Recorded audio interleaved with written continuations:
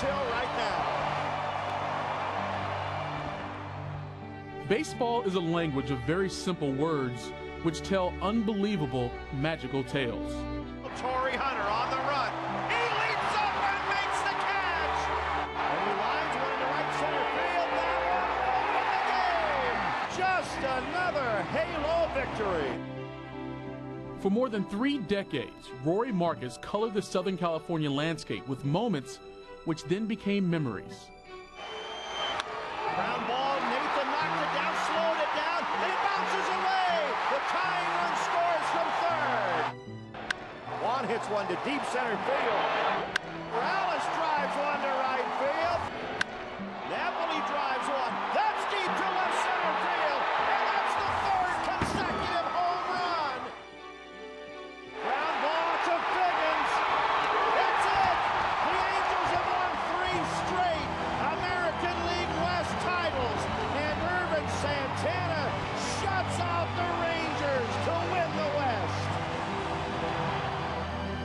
First of all, congratulations. How's my hair look? Your hair is perfect.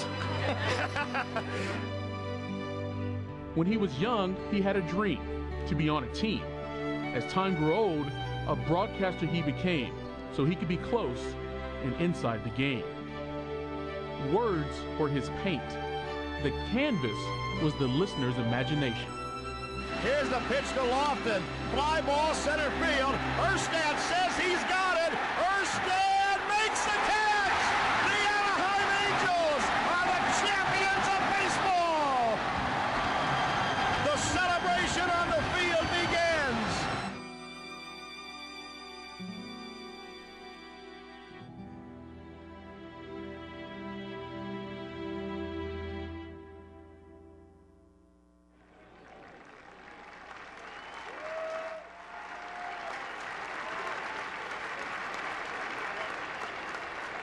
And now, please welcome Rory's mother, Billy, and brothers Gary and Troy for a special first ball ceremony.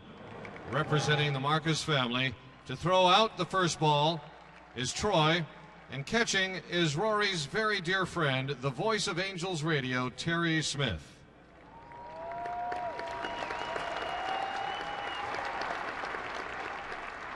Let's play ball.